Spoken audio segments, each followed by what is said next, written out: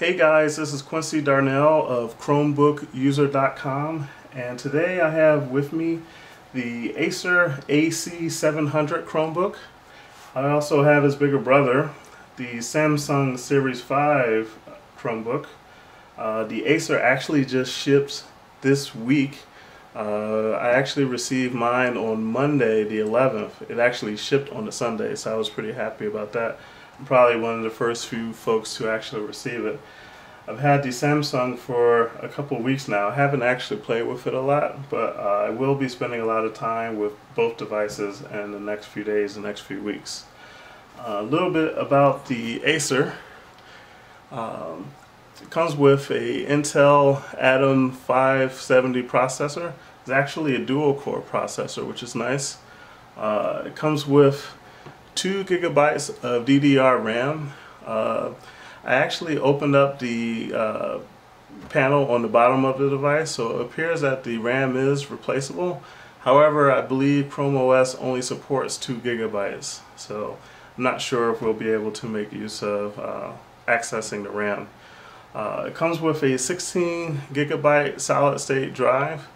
Um, it might be replaceable as well. Uh, um, hopefully, uh, once folks start to get the devices and start tink tinkering around, we'll find out if uh, someone will actually attempt to replace the drive. Um, as far as the display, it comes with a 11.6 inch screen. It's not that much uh, smaller than the Samsung. I was kind of thinking I would prefer to have the Samsung because uh, the screen was bigger but I wouldn't say that the screen is that much bigger.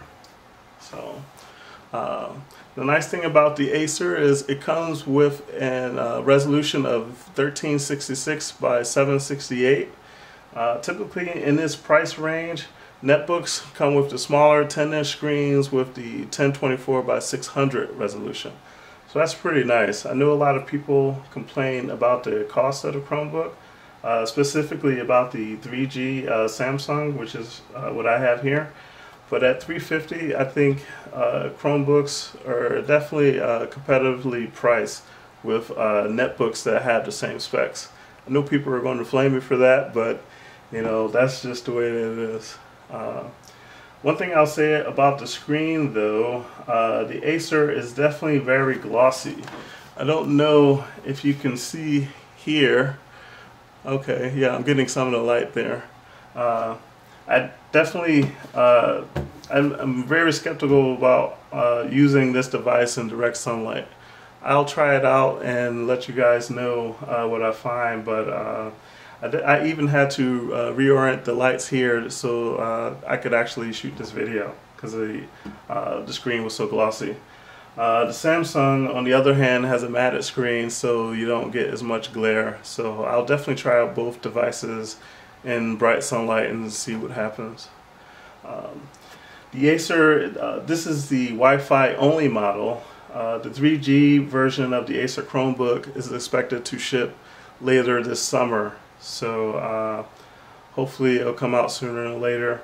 Uh, if you happen to have a cell phone or mobile Wi-Fi, or I mean, usually you can find an internet connection somewhere, so uh, it might not be as big a deal to get the 3G unit, but I usually recommend getting the 3G unit because it only costs an extra $70. It's there if you ever want it, but you know, uh, to each his own, I guess. Uh, the Acer Chromebook comes with two USB ports it also comes with a full-size HDMI port, which is nice. Uh, I do plan to test that out, see how well it performs, so uh, stay tuned for that. Um, as far as the device, uh, it has a full-size or, or, large uh, multi-touchpad. It does not have dedicated mouse buttons, so you definitely have to uh, get used to clicking on the pad if you haven't gotten used to that already. It actually works well. Uh, I won't try to demonstrate the multi-touch here, but uh, maybe in another video I'll do that. Um, I think I like the Acer touchpad better than the Samsung. I know people complained about the original CR48 touchpad. I've never used that device. Uh, after playing with these two devices a little bit, I'm a little bit more partial to the Acer uh, touchpad for sure. Uh, what else? Uh, the Acer Chromebook is uh, gets an estimated battery life of six hours. Uh, the nice thing about the Acer again is that you can actually remove the battery. You have a couple of latches there and the battery comes out very easily. So uh, maybe Acer will release uh, extended battery or if you want you can actually you know just purchase a spare battery. And if you own the device for a couple years and the battery conks out you can just get another one. So that's a nice thing about having the Acer as opposed to the Samsung uh, which doesn't have any user replaceable uh, components. Uh, you can definitely open up the case if you're willing to uh, I've seen teardowns online We've actually reported a couple on ChromebookUser.com. Uh, not exactly user replaceable, but um, you know maybe you can actually replace the battery yourself in the Samsung. You know, look forward to seeing someone try anyway. Um, let me show you the Acer up close. Uh, you see a full-size keyboard, a full-size shift key on the right side. Uh, one of my complaints on the netbooks when they first came out was that this shift key would always be tiny. And I had a hard time uh, touch typing uh, with those keyboards because one, the keyboards were small and they would always have this uh, tiny right shift key. That's not the case with this keyboard, thankfully, and I feel like I can definitely use this as a real work laptop.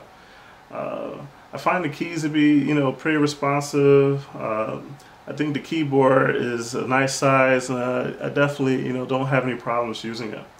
Uh, if you didn't know, uh, on Chromebooks, the uh, caps lock key has actually been replaced with a search key. I actually haven't run into problems with doing uh, having this set up yet. Um, we'll see after I use this in the long term if that's going to be a, a, bother or not.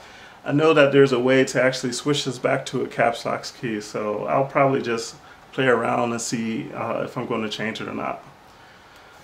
Alright, let's take a quick look at the side of the device. You see a HDMI port, a USB port. Uh, I believe that's a microphone jack and headphones jack. And you also see here the SD card slot.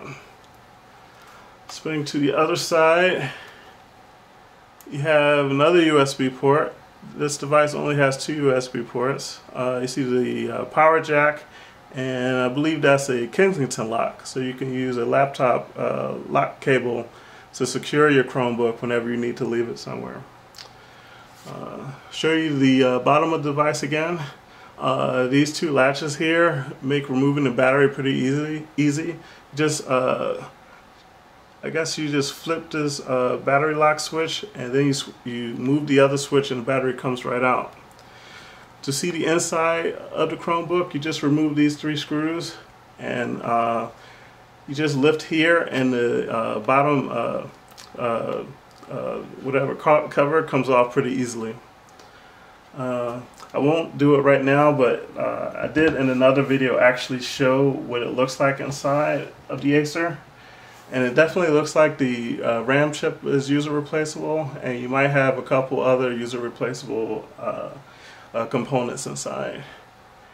Um, that's about it. Uh, just like I said before, I plan to do an in-depth review of both devices over the next couple days and uh, hope to do some speed tests, some browser tests. Uh, maybe we'll try to get Microsoft Office running on these devices, who knows. But uh, I guess that's it for now. Uh, I hope you found this video useful and I hope to uh, see you guys again. Uh, once again, my name is Quincy Darnell of ChromebookUser.com and thanks.